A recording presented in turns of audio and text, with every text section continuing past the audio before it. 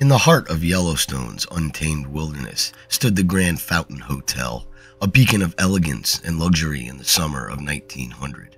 Surrounded by the park's breathtaking landscapes, the hotel was a symbol of human achievement amidst nature's majestic beauty.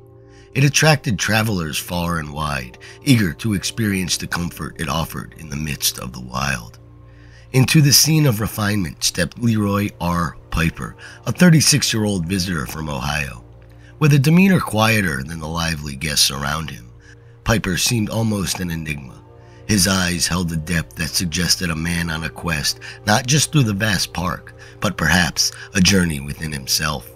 Yet no one could have guessed his arrival at the Fountain Hotel would soon weave his name into one of Yellowstone's most enduring mysteries. Inside the walls of the Fountain Hotel, luxury reigned supreme. Polished wooden floors shone under the warm lights of chandeliers, while guests with their finest attire filled the grand hall with laughter and animated discussions. They shared tales of the day's adventures, from sightings of bison herds to the mesmerizing eruption of geysers, creating a lively atmosphere of excitement and wonder. Amid this vibrant social scene, Leroy R. Piper made his entrance, his presence contrasting with the exuberance around him. With a quiet grace, he navigated through the crowds, a solitary figure among groups of animated guests. His demeanor was reserved, almost reflective, as if he were a silent observer to the festivities rather than a participant. The air of introspection amidst the hustle and bustle of the hotel hinted at the mysteries untold, setting the stage for a puzzle that would soon unfold around him. On his final evening, Leroy Piper was seen dining alone, a quiet observer in the dining room of the Fountain Hotel. He ate as if memorizing every detail of his surroundings. After his meal, he purchased a cigar, a simple act that marked the beginning of a profound mystery. With the cigar in his hand, Piper stepped out into the night, leaving the warmth and light of the hotel behind for the cool, starlit wilderness of Yellowstone National Park. When Piper did not return, concern quickly rippled through the hotel. Initially, there were hopes he might have taken a longer walk than originally thought, captivated by the nocturnal beauty of the park. But as hours turned into days without a sign of him, worry deepened. A search was organized, with hotel staff and volunteers combing the nearby woods and meadows, calling out his name and hoping for a response. The park's vastness made the search daunting. Detachments of cavalry were even brought in, their horses thundering through the landscape, yet no trace of Piper was found. As the search expanded, so did the concern among the hotel guests and the local community. The mysterious circumstances of Piper's disappearance became the focus of whispered conversations and speculative theories. What happened to the quiet man from Ohio after he stepped into the Yellowstone night? The search expanded quickly, with teams venturing deeper into Yellowstone's rugged wilderness. The terrain itself posed significant challenges, with dense forests, steep ravines, and unpredictable geysers and hot springs that dotted the landscape. Despite these obstacles, searchers remained determined, driven by the hope of finding any clue that might reveal Piper's whereabouts. As the search continued with no success, theories and rumors began to swirl among the hotel guests and staff. Some speculated that Piper, perhaps overwhelmed by personal thoughts, had wandered off, losing his way in the vast park.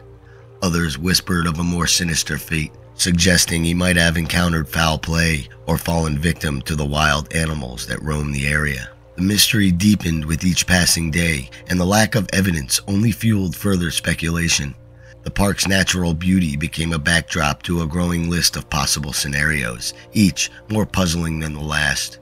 Among the staff and guests, the question of Piper's fate became a topic of constant discussion, with everyone offering their own theories, but no one able to provide answers.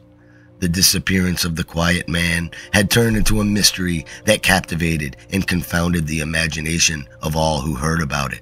The Fountain Hotel, nestled in Yellowstone splendor, was surrounded by attractions that drew guests closer to the wild heart of the park. Notably, a bear feeding station behind the hotel offered thrilling encounters with nature as guests watched from a safe distance. The bears came to feast on scraps. Additionally, the area was renowned for its geothermal wonders, with geysers and hot springs painting a landscape both beautiful and volatile. These attractions, while marvels to behold, posed inherent hazards that cannot be overlooked, especially in light of Piper's mysterious disappearance. The bear feeding station, though a source of entertainment, highlighted the presence of wild and potentially dangerous animals in the vicinity. This proximity to wildlife sparked concerns that Piper might have had an unexpected encounter with a bear leading to his disappearance. The geothermal features, with their boiling water and unpredictable eruptions, presented a natural danger. The mesmerizing beauty of these sites could easily lure a visitor too close with perilous consequences. In the wake of Piper's vanishing, some wondered if he had ventured to admire these natural wonders, only to fall victim to their hidden dangers. As speculation grew, these attractions and their risks became a focal point in the discussion about what might have happened to Piper. The natural beauty and potential peril underscored the mysterious circumstances of his disappearance, adding layers of intrigue and concern to the unfolding story. Following Leroy R. Piper's disappearance, the Fountain Hotel's once vibrant atmosphere shifted to one of unease and whispering curiosity. The lively conversations and laughter that had filled the grand halls and dining room were now tinged with the hushed tones of speculation and concern. Guests move with a newfound wariness, their thoughts occupied by the unsolved mystery of the man who vanished into the night. Piper's room, left exactly it was before he stepped out, became a silent testament to the mystery. The bed, untouched since that evening, and his belongings scattered as if he would return at any moment, served as a haunting reminder to all those who passed by. The hotel staff, respecting the gravity of the situation, preserved the room's state, allowing no one to enter. It stood as a sort of shrine over a frozen moment in time, embodying the unanswered questions surrounding Piper's fate. This change affected everyone at the Fountain Hotel. Guests whispered their theories and rumors among themselves, while staff members shared concerned glances, all feeling the weight of the mystery that had taken over their once peaceful retreat. The disappearance of Piper had cast a shadow over the hotel, transforming it from a place of escape and wonder to a setting of enduring mystery. The search for Piper extended beyond the immediate vicinity of the Fountain Hotel, reaching to the farthest corners of Yellowstone Park. Despite the exhaustive efforts, which included combing through dense forests, navigating the rugged terrain, and scrutinizing every potential clue, the search parties came up empty handed. No evidence of Piper's whereabouts ever emerged, deepening the mystery and frustrating those involved. As the search expanded, so too did the theories about what might have happened to Piper. Some suggested he might have accidentally fallen into one of the many geothermal features, a tragic misstep, leaving no trace behind. Others speculated about a possible criminal element, suggesting Piper could have been the victim of foul play, a theory supported by the absence of any clues or witnesses.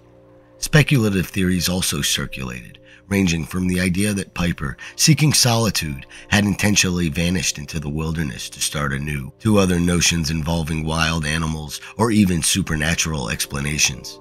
Each theory, while differing in details, underscored the collective need to make sense of the unexplainable disappearance. As speculation mounted, the mystery of what happened to the quiet man from Ohio continued to captivate and confound, becoming a haunting element of Yellowstone National Park's history and lore. Years after Leroy R. Piper's disappearance, the grandeur of the Fountain Hotel eventually faded into history. By 1916, the once bustling hotel had closed its doors, and in 1927 it was demolished, leaving behind only memories and stories. Among these tales, Piper's vanishing act remained one of the most captivating, a mystery that has lingered in the shadows of Yellowstone's past, untouched by time. Leroy R. Piper's story has left an indelible mark on Yellowstone's history and the experiences of those who visit. It has become a testament to the park's capacity to awe and also to mystify, offering a narrative that compels as much as it warns. Visitors are drawn not only to Yellowstone's natural wonder, but also to the stories and mysteries embedded in its landscape, with Piper's tale being among the most compelling. Reflecting on the nature of unsolved mysteries, Piper's disappearance underscores their profound impact on our collective imagination. These stories, particularly ones as enduring as Piper's, resonates through time, offering endless possibilities and inviting speculation. They remind us the limits of our understanding and the allure of the unknown. In the vastness of places like Yellowstone, mysteries such as Leroy Piper's not only endure, they become a part of the fabric, intriguing new generations and keeping the spirit of exploration and wonder alive.